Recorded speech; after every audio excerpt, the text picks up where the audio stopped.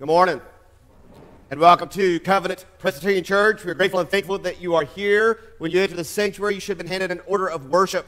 This order of worship will aid you in the worship of Almighty God. If you're joining us online, the order of worship is posted for you. There are two quick announcements that I want to draw your attention to. One is this on uh, Thursday, March the 28th, we will be having a Maundy Thursday service. Next Sunday is Palm Sunday. Then we have Maundy, Thursday, and then we'll have Easter Sunday. So just make note of that. Uh, the service will be at 6 o'clock on Thursday. I know some of you say it's a challenge to invite your friends to Sunday morning worship. Well, maybe invite them to this Thursday evening worship. Again, it's uh, Thursday, March the 28th at 6 o'clock. Also, just take note that we'll have a foundations class weekend, April the 26th and 27th. We'll be going over the foundations of our faith. And this is also, if you'd like to join Covenant, this is a, a, a class that is required for you to take before you can join the church. I don't know where you are in your spiritual journey. I don't know the things that can and will prevent you from worshiping the true and living God, but this I do know, is He's called us together as His people this day to worship Him. Let me ask you stand. As you stand, you're proclaiming to each other and to the watching world that Christ is risen. We're called to worship from Romans 8, verses 31 through 39. Listen to these words. What then shall we say to these things? If God is for us, who can be against us? He who did not spare his own son, but gave him up for us all, how will he not also with him graciously give us all things? Who shall bring any charge against God's elect? It is God who justifies. Who is to condemn? Christ Jesus is the one who died. More than that, who was raised, who is at the right hand of God, who indeed is interceding for us. Who shall separate us from the love of Christ? Shall tribulation or distress or persecution or famine or nakedness or danger or sword? As it is written, for your sake we are being killed all the day long. We are regarded as sheep to be slaughtered. Knowing all these things, we are more than conquerors through him who loved us. For I am sure that neither death nor life, nor angels, nor rulers, nor things present, nor things to come, nor powers, nor height, nor depth, nor anything else in all of creation will be able to separate us from the love of God in Christ Jesus our Lord. Let's pray. God Almighty, you are the maker of heaven and earth, and there are so many things that wants to distract us from the worship of you. May that not be so today. Maybe by the power of the Holy Spirit, be able to fix our eyes on you, Jesus. You deserve, you demand, and you command our worship. May all the different elements of our worship service, the singing of the hymns, the confessions we sang, the reading of your word, the prayers, the preached word, may all of the different elements point us to your almighty throne. May we worship you well today. In the name of Jesus, we pray. The one who taught us to pray by saying, our Father, who art in heaven, hallowed be thy name. Thy kingdom come, thy will be done, on earth as it is in heaven. Give us this day our daily bread, and forgive us our debts as we forgive our debtors. And lead us not to temptation, but deliver us from evil. For thine is the kingdom, the power, and the glory forever. Amen.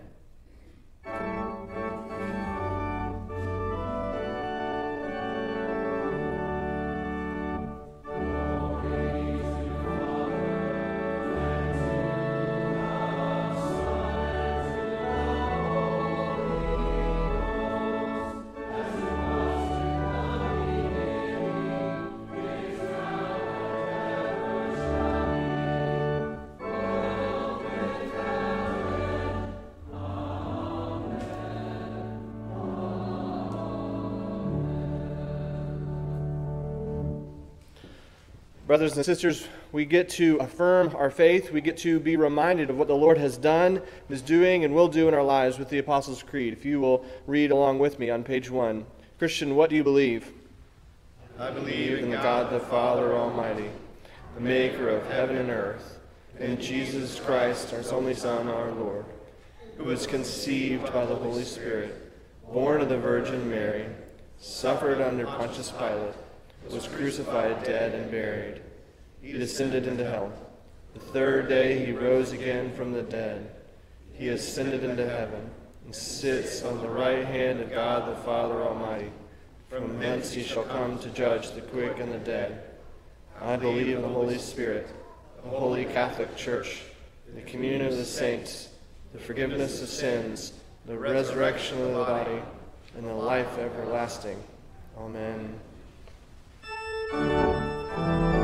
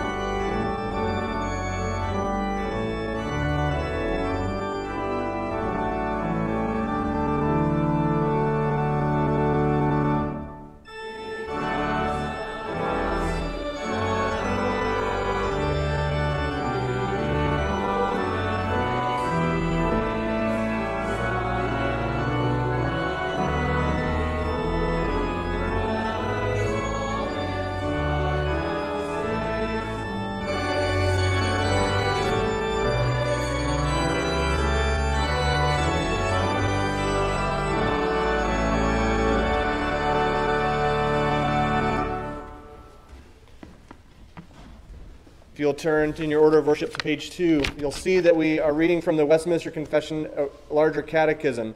As we have been working through this, we are reminded of not only that there is sin in our lives, particularly what the punishment for sin is. And as we read these, we should, we should meditate and we should think on these things because it'll also show us all the more of what grace has done, what the Lord is doing in our lives, and the forgiveness of sins. So as I ask the question, if you'll respond by reading, what are the punishment? What are the punishments for sin in this world? The punishments for sin in this world are either inward blindness of the mind, reprobate sense of strong delusion, hardness of heart, horror of the conscience, vile afflictions, or outward the curse of God on the creatures of our sake, and all the evils that befall us in our bodies, names, estates, relations, employments, together with death itself what are the punishments of sin in the world to come?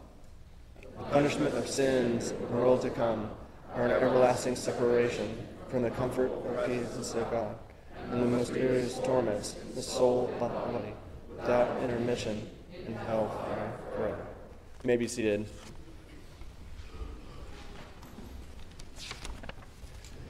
If you'll join with me in prayer. Heavenly Father, we thank you for the gift of the gospel. Lord, as we somewhat jovially think of St. Patrick's Day, and we think of the ways in which you have been moving throughout history, or we think of how you called a man uh, as he was brought into imprisonment, as he was made a slave into a different nation, Lord, and how you moved in his life, and how you allowed him to be able to, to be convicted that those that encaptured him, those that enslaved him, needed to hear the good news of the gospel, Lord, and for him to go back. Lord, we're thankful for the ways in which you have gifted us with the good news of the gospel, how we've been able to, to go and be able to proclaim and make disciples and, and to see them baptized and see the Lord at work. Lord, we're thankful for the ways in which you have made us disciples. And so we, we pray that you would be with those all around the world that this morning are are working through different hardships. They're working through different challenges uh, as they work to share the gospel, Lord, as they suffer through uh, persecution, as they suffer through physical trials, but also spiritual difficulties as, as they long to, to see you more clearly. We pray that your spirit would continue to move and that you would do amazing things in your church, your bride. And Lord, as we think of the different nations in which you have raised up, Lord, we're thankful that you continue to rule and reign over all of them. We pray for the upcoming elections. Lord, we pray for uh, peace in not only the United States, but all over the world. And Lord, we pray that you would continue to bring forth your gospel. Lord, we pray that there would be revival, that there would be a great awakening, and Lord, that there would be a returning to your word. We pray that you would be with uh, this local community. Lord, we pray that you would be with the first responders. We think of those that oftentimes find themselves in harm's way as they look to protect us, to uh, provide stability in, in this world. Lord, we pray that you'd be with the police officers. We pray that you'd be with the sheriff's department. We pray that you would give them great success in their endeavors. We also pray that you give them great wisdom and protection. We pray as well for the fire department, Lord, those that firefighters that are out risking their lives to protect and to, to help uh, restore uh, those that are in oftentimes harm's way and in need. Lord, we pray as well for EMTs and social workers that have uh, difficult circumstances where they have to go in and, and have discernment. We pray that you would give it to them. Lord, we also pray that you would be with this church. Lord, we're thankful for the ways in which you have blessed us in so many ways. We think of uh, Saturday and the ways in which it was able to, to have a, partnership with lo- another local church, um, or the one in Newnan, the Presbyterian Church there. We praise you for Marcus's hard work in that and the, the success of it for the youth being able to get together and to, to enjoy uh, the gifts of, of being able to run around, but also to encourage one another. We pray that you would continue to grow this ministry in the future, that there would be a greater connectionalism, not just in uh, the youth, but also in adults. And Lord, may we be reminded that, that this uh, church is, a, is part of a, greater church. And Lord, as we think of uh, the church, we think of uh, the upcoming Holy Week, as Pastor Jamie has reminded us of the ability to be able to invite our neighbors and our friends and maybe those that we meet on the street or in a store. We pray that you would allow uh, there to be a great outpouring of, of the ability for those to come and worship you. We think of the Maundy, Thursday service and the mandate to love. Lord, we pray that you would remind us over and over again of, of what you've done uh, in the power of, of your word. Lord, we pray that you would be with this church and, and the people here. Lord, we're thankful for the many successful procedures recently. Lord, we think of many that are upcoming and, and those that are struggling with illnesses that are long term. We pray that you would continue to be with family members and others as they support. May they build each other up. May we help share each other's burdens and pray for each other, be an encouragement and, and be able to provide physical help as needed. Lord, we pray that you would be with the expectant mothers. We pray that you would be with those that are mourning over loss, that, uh, that are struggling with the dark nights of the soul or the, the challenges of this fallen world. We pray that you would remind them of your, your loving care and your kindness. We pray that you would continue to protect them. We do ask that you would be with your word and pray that you would be with Pastor Jamie as he continues to open it up, as he continues to proclaim the difficulties uh, in these passages. But Lord, we pray that the Spirit would move and that you would continue to use him as an instrument in our lives and in the lives of this church. Lord, we do ask that you would be with us as we are given the opportunity to give a tithe and an offering to you. Lord, may we remind, be reminded of how blessed we are as a people. We pray these things in the strong name of Jesus. Amen. As we take up our morning offering, let us be reminded by Proverbs chapter 3, verses 9 and 10. Honor the Lord with your wealth and with the first fruits of your produce. Then your barns will be filled with plenty, and your vats will be bursting with wine. If the ushers will come forward to take an offering.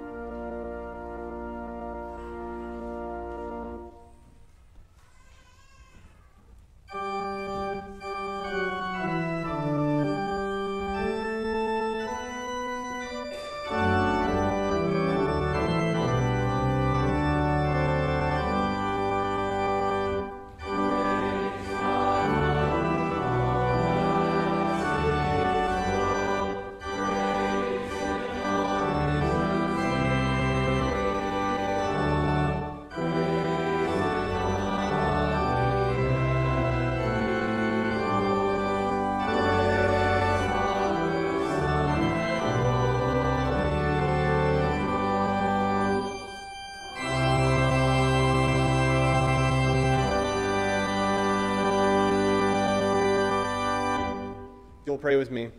Heavenly Father, we thank you again for the blessings that you've poured out upon us. We pray that you would be with this offering. Lord, that the monies from it would be used for your glory. Lord, that they would be a tool used to bring forth the gospel to faraway lands, but also, Lord, that they'd be used to, to do small things around here that turn into big things for you. Lord, we pray these things in your Son's name. Amen.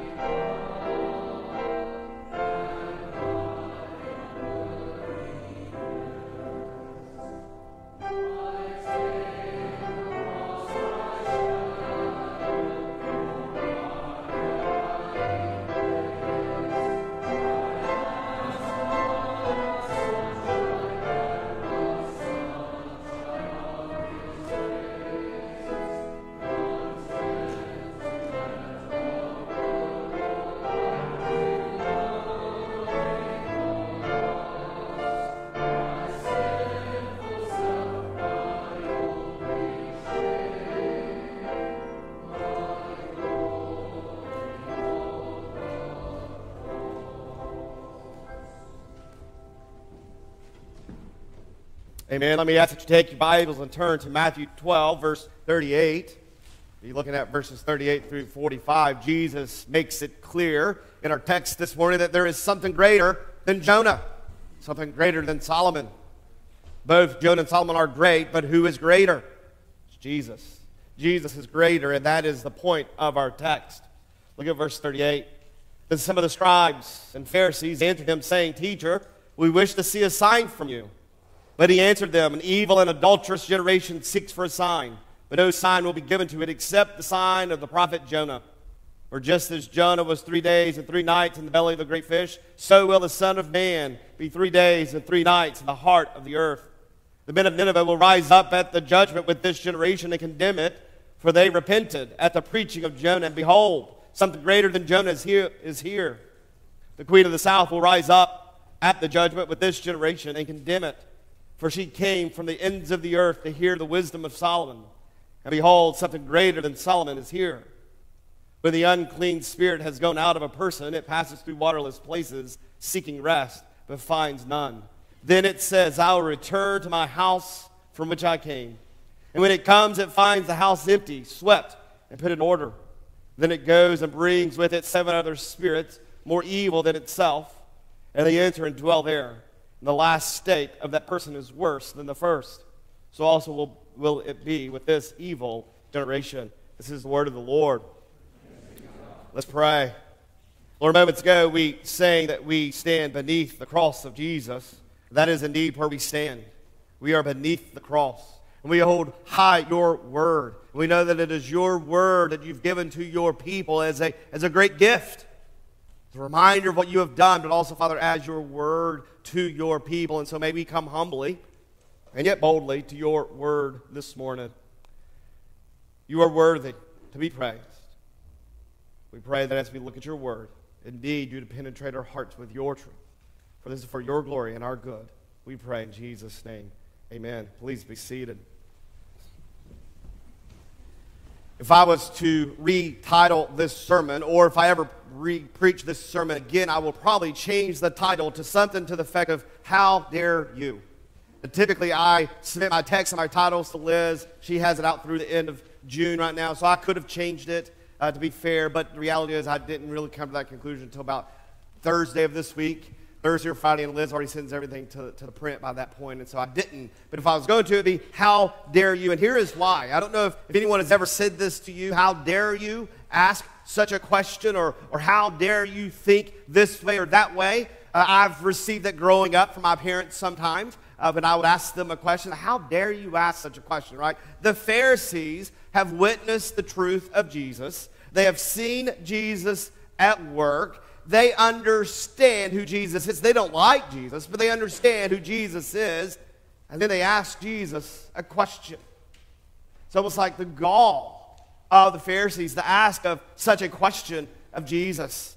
When I was in uh, taking Hebrew in uh, seminary, the, uh, the, the, language Hebrew, and I, Dr. Gilchrist was my professor. He taught at Covenant College as well as Covenant Theological Seminary. He said this when we read numbers in Scripture, they're there for a reason, right? God doesn't waste our time, doesn't waste His word. And so they're there for a reason, but we need to be slow with assigning specifics to those numbers. Sometimes we could assign proper uh, uh, conclusions to those numbers, and sometimes we may mislead ourselves if we try to assign certain things to those numbers. In our text this morning, we have two instances about numbers. One, we have great clarity of what it means, one, not so much.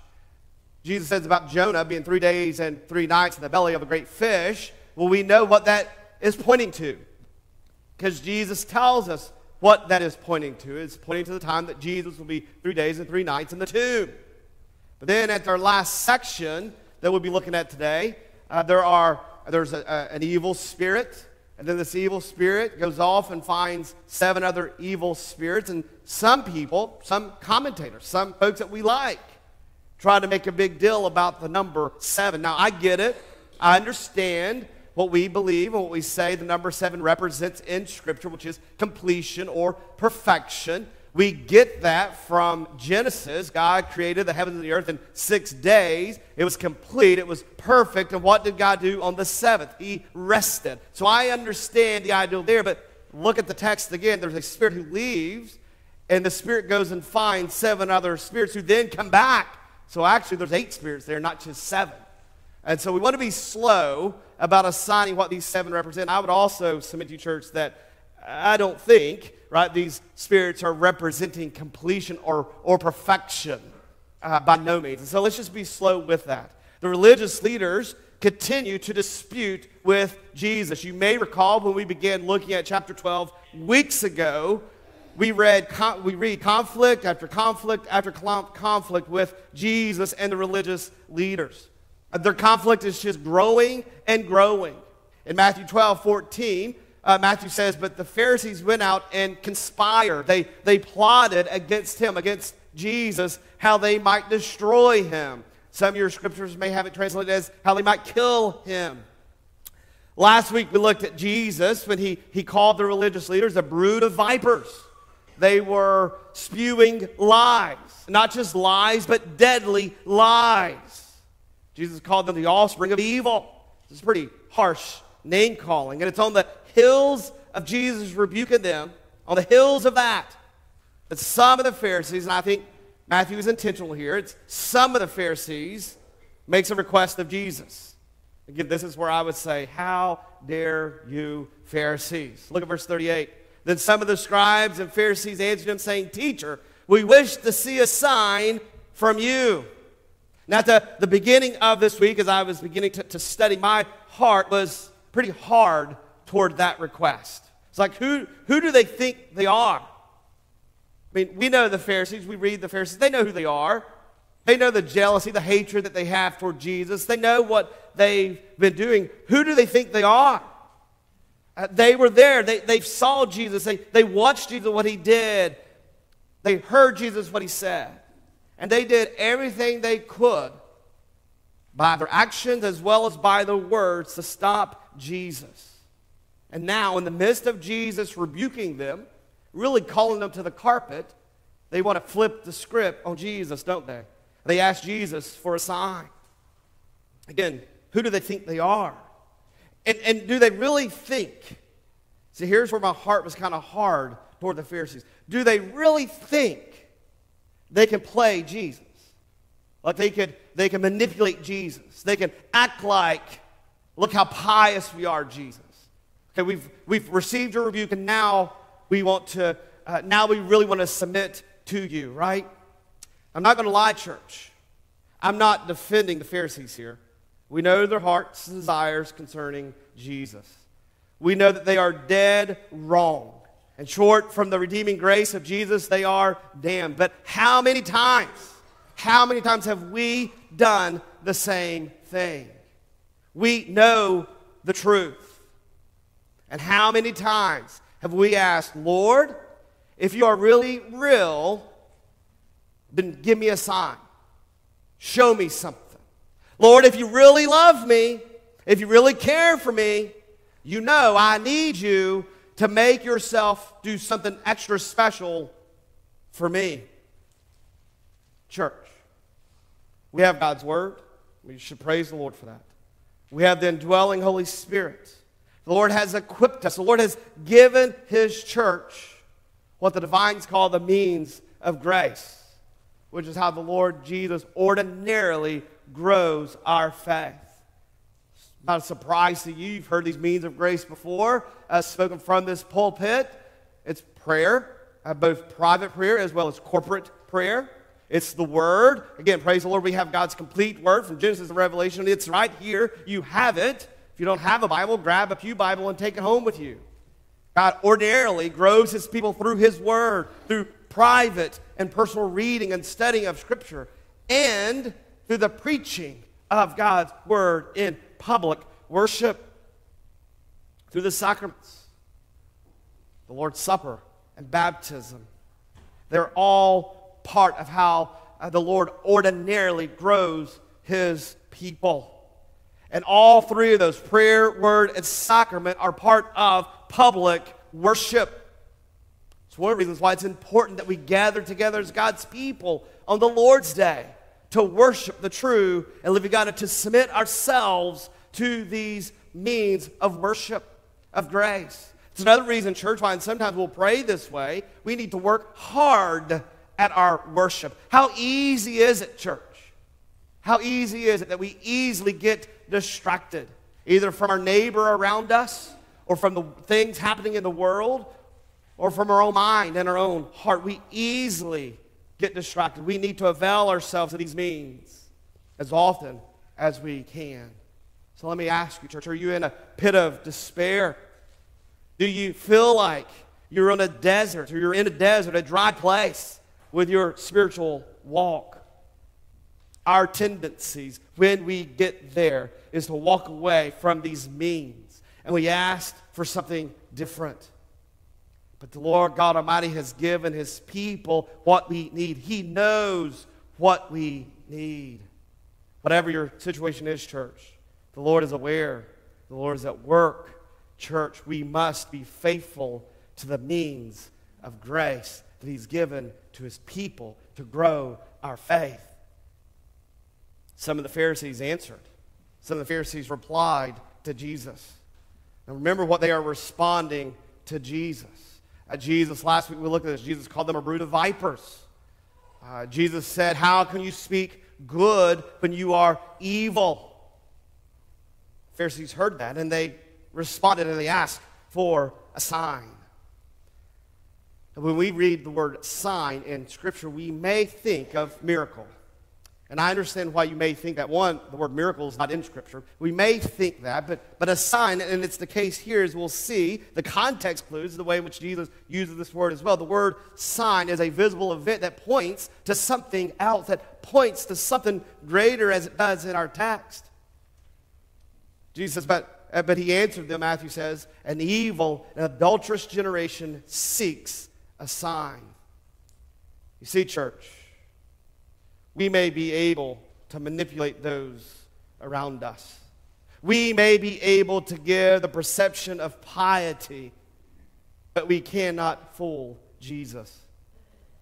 The Pharisees could not fool Jesus. Jesus understood the reasoning for wanting a sign, and it was not to validate his authority. They wanted a sign to test and to discredit Jesus. Let us heed this warning and examine our own hearts, ensuring that our pursuit of God is rooted in faith and not in our desires for selfish gain or selfish motivation. Jesus says, Matthew said that Jesus said, but no sign will be given to it except the sign of the prophet Jonah. And we could look at this in two different ways. One would be it could be a sign that Jonah gave, right? That could be one way, or the other way, which is the way in which we're going to take it, is a sign uh, that is Jonah himself. Now, if you were in adult Sunday school class about three or so weeks ago, you know the answer. Jonah himself is the sign. At some point, if you haven't done so recently, go and read the story of Jonah. Jonah is a very short story of four chapters. Uh, you may be familiar with the story of Jonah. If not, that's okay. Go and study and read Jonah. You have the benefit of God's, again, one of the means of grace, you have the benefit of God's word to go and to read the story of Jonah.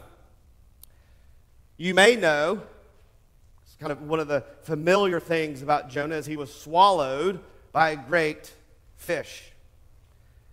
Interesting enough, and you would know this as well, particularly if you were in Sunday school, but you may know this as well as your own studies. Sometimes we think of the story and we think of, the, of Jonah getting swallowed up by the great fish as the judgment of God against Jonah. But actually, church, the great fish for Jonah was his salvation, it was his rescue, it was his redemption.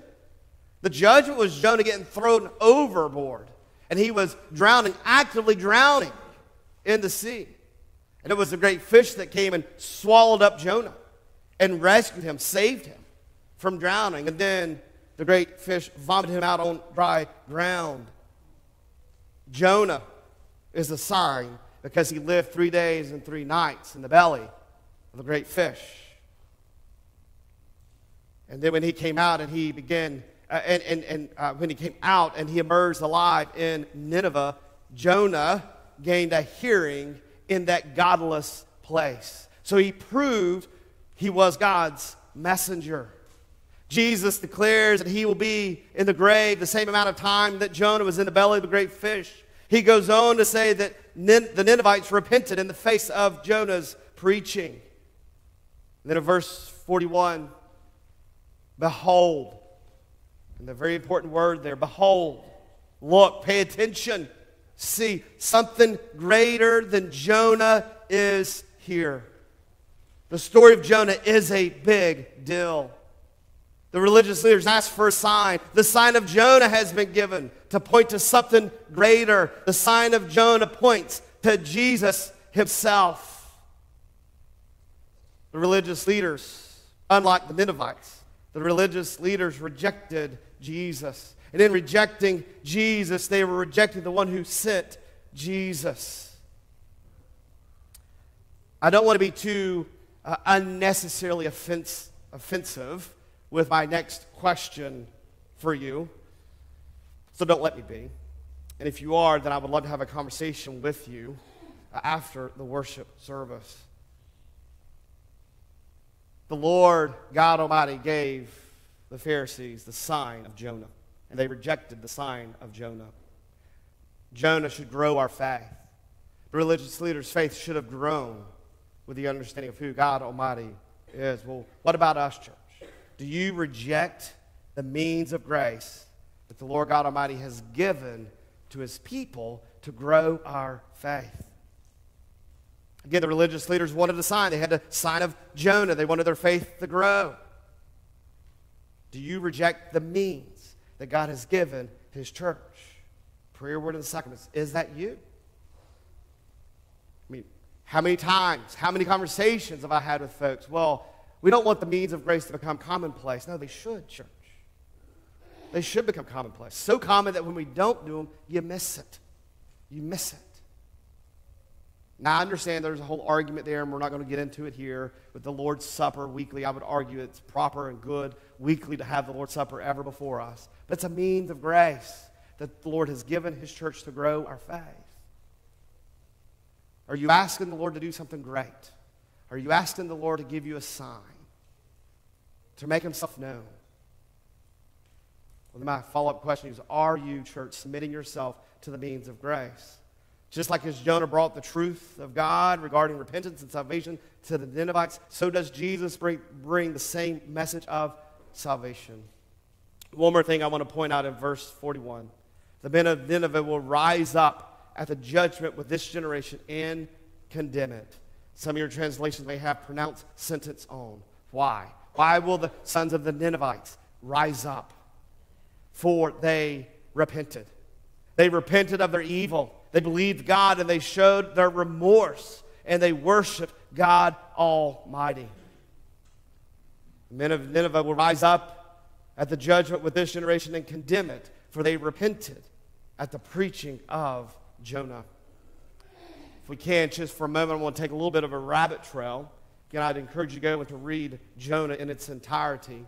In Jonah 3, verse 10, we read, When God saw what they did, how they turned from their evil way, God relented of the disaster that he had said he would do to them, and he did not do it. That fits perfectly with our verse of the year in Psalm 51, 17. The sacrifices God is a broken a spirit and a broken contrite heart. Oh God, you will not despise. Church, do you have a humble, broken heart before God? The answer is either yes or it is no. There is no neutral ground. The people at Nineveh did, at Nineveh did have a humble, broken, contrite heart. But the religious leaders here in Matthew did not. Verse 42 The queen of the south will rise up at the judgment with this generation and condemn it, for she has came from the ends of the earth to hear the wisdom of Solomon. And we know from 1 Kings 10 that the queen of the south is also the, is, is the queen of Sheba. And we know that she came to test Solomon with hard questions, much like the religious leaders have been doing with Jesus. The difference is she sought truth and was willing to accept Solomon's wisdom. And 1 Kings 10 1 says, Now, when the queen of Sheba heard of the famous Solomon concerning the name of the Lord, she came to test him with hard questions. And a little bit later in that same chapter, we read in verses 6 and 7, and she said to the king, The report was true that I heard in my own land of your words and of your wisdom. But I did not believe the report until I came and my own eyes heard, had seen it. And behold, the half was not told me. Your wisdom and prosperity surpasses the report that I heard. So at the final judgment, Jesus says, the queen of the south will rise up also to bear witness against this generation, the generation of Jesus' day, and condemn it. And again, Matthew says, and behold. And I know every time I read that word, I make a big deal. And maybe it's just where I am. Maybe it's just I know my own heart, my own head, that I need to be reminders. And this is one of those indicators to perk up, to look, to pay attention. And behold, something greater than Solomon is here. Who is greater, church? It's not a trick question. Who is greater? It's Jesus.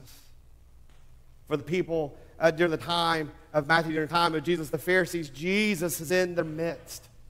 And they are missing it. They're missing it. Our next section, the next uh, verses, starting verse 43, concerns me. One, there's a mystery here. We've kind of already talked about the, the, the mystery.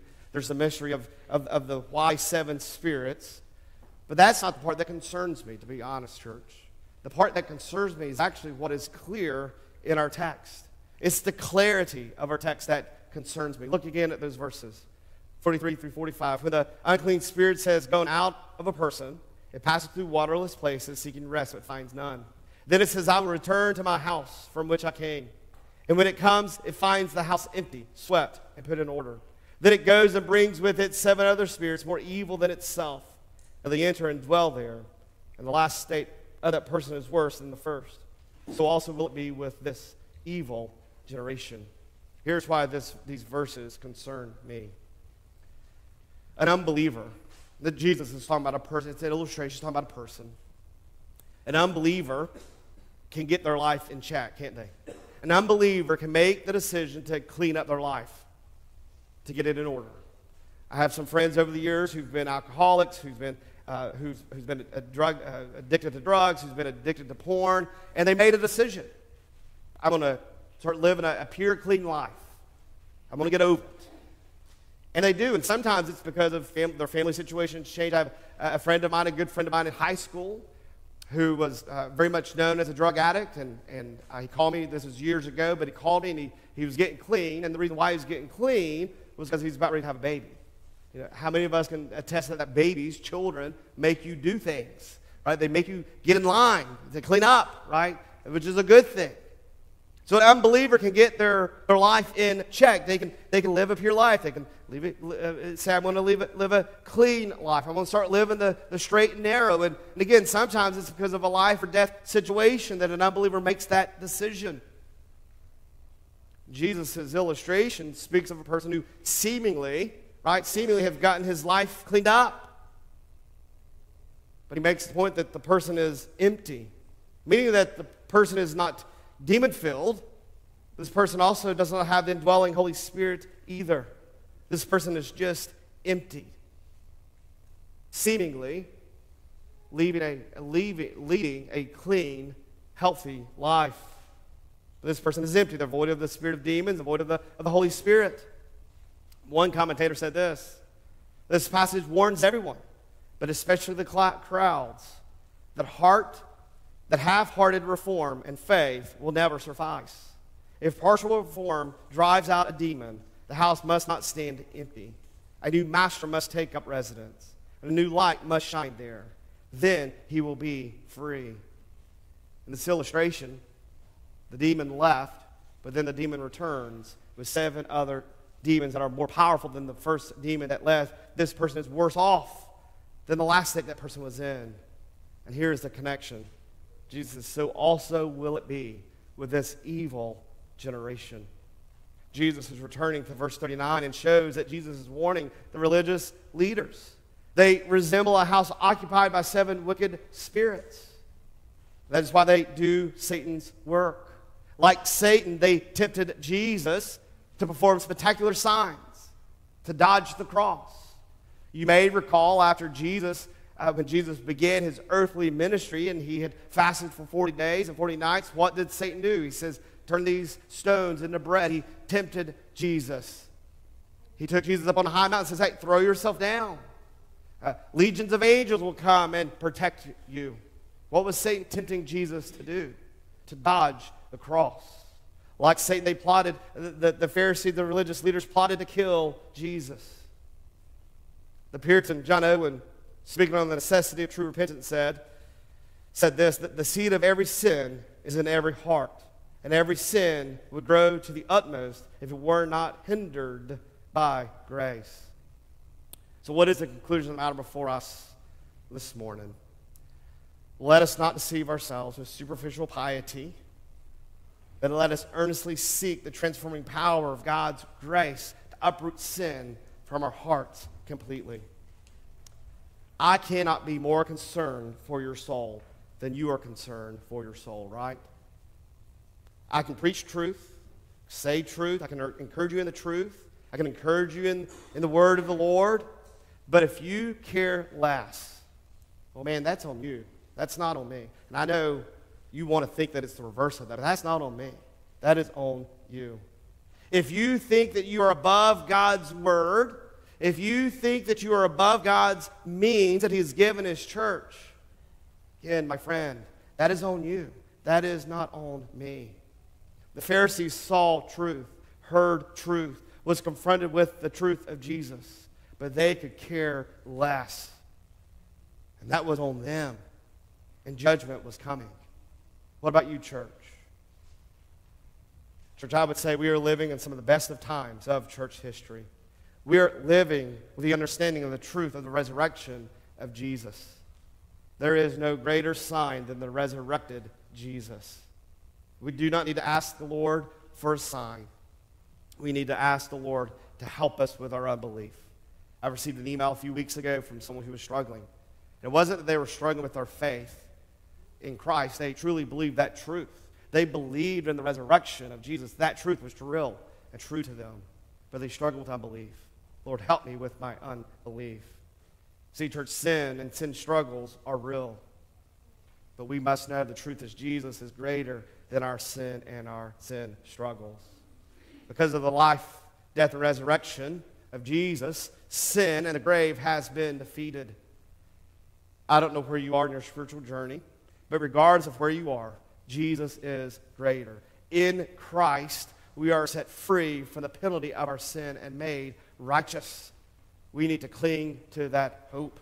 We need to cling to that truth. If you're an unbeliever and you're with us today, I'm thankful and grateful that you're here. It's not by accident that you're here. If you're online listening to us, it's not by accident that you're hearing what you are hearing today. But don't just hear the truth of Jesus, but ask the Holy Spirit to enable you to believe.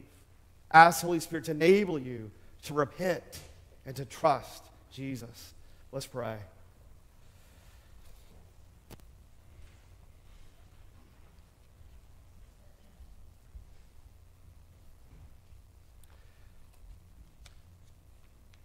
Good Lord Jesus, we can let our loved ones think that we have it all together. But you know where we are. You know the mess that we are. You know our hearts better than we know our own hearts. We may be able to even act all pious and humble and, and holy. But the truth could be, Father, that we are so far from that truth. We may be able to fool our loved ones. We may be able to fool our church. Maybe we've done it for years. But as we see in our text this, this morning, we cannot fool you. So will you draw us to your throne? Draw us to your grace.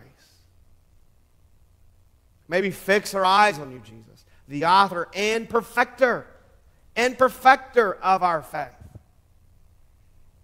Our faith in you is all about you. It's all about your work. It's all about what you have accomplished. Maybe cling to that truth. Maybe cling to that hope that is in you, Lord Jesus. Lord, if there's some, someone in our mix today, today is the day that they come to realization that they have never repented, that they've never believed. May today be the day of salvation for them. May they repent. May they believe. For your glory and for our good. For it's in your name we pray, Jesus. Amen.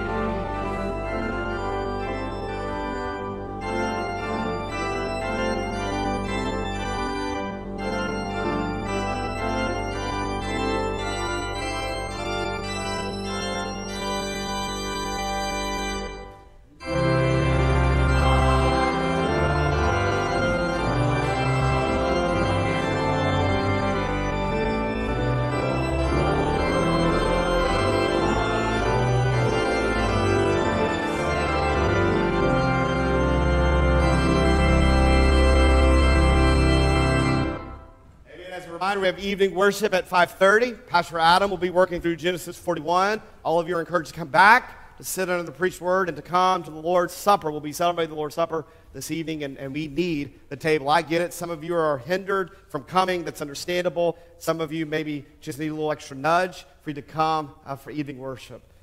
Christian, look up. Receive the Lord's benediction. May, now may the God of peace, who brought again from the dead our Lord Jesus, the great shepherd of the sheep, by the blood of the eternal covenant, equip you with everything good that you may do his will, working in us that which is pleasing in his sight through Jesus Christ, to whom be glory forever and ever. May you go in peace. In the name of God the Father, the Son, and Holy Spirit. And all God's people said, Amen.